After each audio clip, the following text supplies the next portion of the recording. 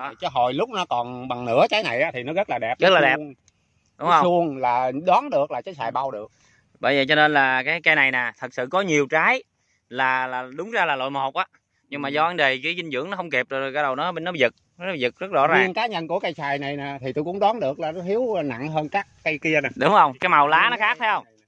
Đó. À, dạ. Nhưng mà tôi phân chắc thì tôi không được nhưng tôi đoán được là nó đang thiếu cái Dạ. gì đó. Rồi. Ừ. nhìn cái riêng cái cây này là tôi thấy nó khác thường hơn.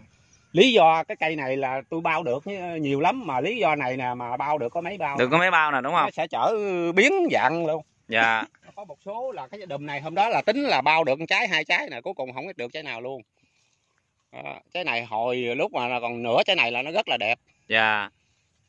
Cái này nữa nè mà cuối cùng nó lên nó lên cái nó trở thành lấy tôi nói sâu kỳ vậy đó dạ cái này là Là hiện tượng là thiếu dinh dưỡng biết- ờ, cho cây nhưng mà để hồi thiếu gì đi con phân tích cho chú.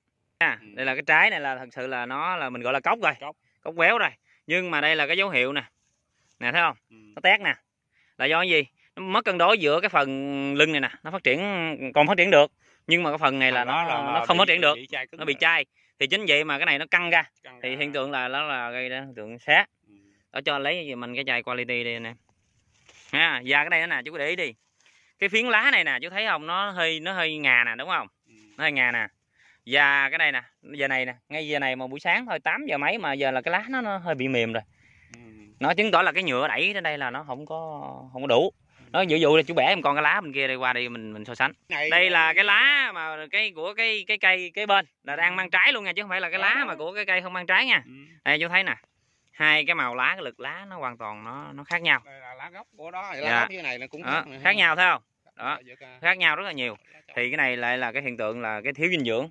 Nhưng mà ở đâu đó là đầu tiên hết gì nè. Con lại nói là cái này là do cái này nó ngộ độc bắt lo nó hơi lúc mà mình ờ, xử lý á nó còn hơi nhiều nó giải chưa kịp nè. Ừ. giải chưa kịp cho nên là khi cái gamma bông trái rồi mà nó chưa cái hệ rễ nó chưa có phát triển là được. Ừ. có bón phân có dinh dưỡng nhưng lại nó hút không lên lên không không đủ thứ hai nữa là thành thời thiếu này, hiện tượng này là thiếu canxi và magie rất là rõ ràng luôn nè, ha.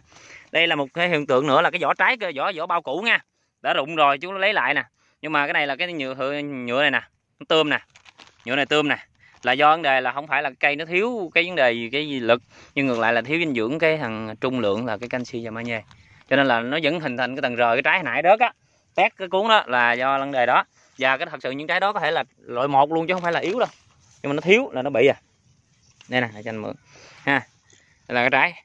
Trái rất là, là, là, là thẳng luôn đó bự luôn đó. Nhưng mà nó vẫn rớt là do cái hiện tượng thiếu dinh dưỡng cục bộ này. Và cái chai này nè đó. Cái này quality. Và quality. Ha cái thành phần nó là canxi 20 phần trăm canxi oxide và cái thằng magie nó là 15.7 phần trăm. Và thằng này rất là nặng tỷ trọng nó là 1.96 đó là, là hỗ trợ cho mình đây.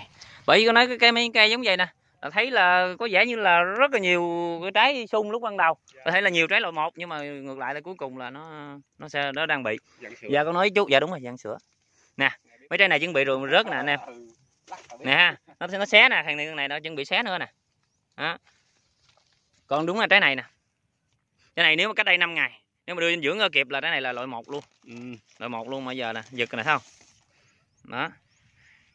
Hôm trước á nó có một số là nó đẹp dạ. Suông thông thả rồi nó còn nhỏ hơn này một chút nha. Dạ rồi. À, nó thông nó Đúng rồi. đeo. Nó chỉ bằng à, Ờ, tay giữa tay nó lớn cái. lên cái bắt đầu nó biến dạng biến dạng dần Dạ. cái này là do cái thiếu dinh dưỡng. Rồi một hồi chú cháu mình đi tiếp đi mình trao đổi thêm. Nó bị nhũng cuốn này nè. Đó. Đó. còn cứng và thật sự này là bắt đầu nhìn thấy chứ thật sự này nó nó khuyết nè chú này thấy không? Cái vết này nó lớn không đều nè. mềm mèo à. Mèo mèo à. Và nó Bị thúi thúi. luôn rồi đó. Nó thúi. Ừ, Ha, mới bóp là xì bọt. đó bóp là xì bọt. Chứ bình thường bẻ cái trái Ừ. bình thường ở bóp nó cứng ngắc à. Dạ đó còn đây thì mấy cây này đạt rồi cái màu lá này là ổn.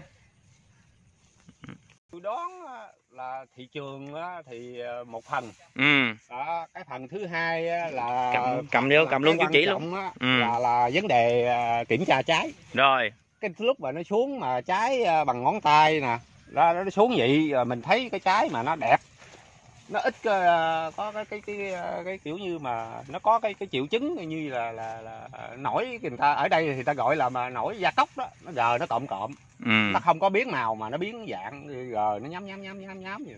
Thì mấy mà cái nếu mà cái số lượng đó ít á, thì cái số lượng đó thì mình nên bao bao này. Còn mà trái mà khi mà nó bóng đẹp á thấy nó láng mịn có phấn á, thì bao bao này. Đâu chú chú ờ, thử chú gỡ gỡ cho anh em thấy cái để cho anh em có kinh nghiệm tại vì bởi vì nhiều khi á, vô cái vườn không phải là cầm bao nào là muốn bao là bao anh em. Đó. Đó nó mịn nè mịn trơn à. Đó. đó. Ờ, như vậy thì mới, mới mới đưa vô bao vàng rồi mới có chất lượng. Bán nó mới có ấy. Còn nếu không á nó biến dạng hoặc là nó nổi da cốc á là nó rớt giá rồi mình rớt thậm tệ luôn. Dạ. à, thà bao này mà nó có giá. À, mà nó nằm cái màu này mà nó nó bị xấu xí đó là nó rớt tệ hơn này. Dạ. trở thành một cái là cái thằng như là hàng giác thôi thằng dạc mà cái dạc của nó nó tệ hơn này mà nếu như bao xanh của có thể lấy cái dạc con này mà bao Ừ. bao này á, nó trở thành cái hàng hàng nhất. Ờ, thấy chưa anh em? Trái này đúng ra là bao ai lấy được nè, có thể là bao bao được nè. có thể bao vàng được nhưng mà đó. tại vì hồi có lúc nhỏ tôi thấy nó còn một số nó hơi nám nám là tôi Ừ. sợ. Sợ sau này nó lan ra nhiều. Kệ thà vậy chắc ăn chú chính có ít nè. Ha thầy chắc ăn. cho nhưng mà thời điểm bao cũng khác nữa nha anh em đó chứ không phải là cái bao vàng này phải bao sớm hơn cái cái cái, cái bao trắng nha. Đúng, đúng, nó đó chứ không phải là nói cùng một cái cỡ mà anh em là lại là lấy cùng- cùng hai loại bao bao lượt là cũng không đúng. Ừ, nó Dạ. phải đúng cái cái ờ, cái trọng lượng của nó ờ. ờ, cỡ nào mới bao bao này được. Đó. Nếu mà để nó bự như vậy là bao là, là Để nó không được cái màu này. Mà Đó. cái màu vàng tái vàng tái nó cũng rớt giá nữa. Cũng rớt.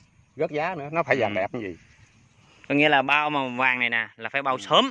Màu sớm cái đó thường khoảng khoảng trái mà lớn à, bao chứ? Ờ, trái ờ, mình làm cái ni tay đi. bằng ờ, ngón tay. À. ngón tay cái no hơn ngón tay cái cũng được. Ừ. Nhưng mà nửa cầm tay là không được nha. Dạ dạ. Đó. Rồi, hết biết ổng không? Coi nè thấy không? Có cái này tôi chuyển tiễn bớt số rồi nè. Dạ đã tiễn nhiều nè. Ừ, chứ thật sự đây nè mấy cái cuốn này là cuốn mới vừa tiễn sau này À, không nè? Chứ đâu đâu. đây nữa là có Dạ. nữa nè. Là Đó. lại bao được không đó là tiễn bớt là chừa bốn trái. Dạ. Chọn hai trái ờ, bao vàng hai trái bao trắng. Thằng nhỏ này là bị ờ, thằng kia là giành hết rồi chứ thằng này nếu rồi. bản thân nó là vẫn có khả năng luôn nè. Ừ. nhưng mà tại vì bị mấy này nó giành hết rồi. Đó thấy không? Vô bao vàng á nó trở thành xài hồng.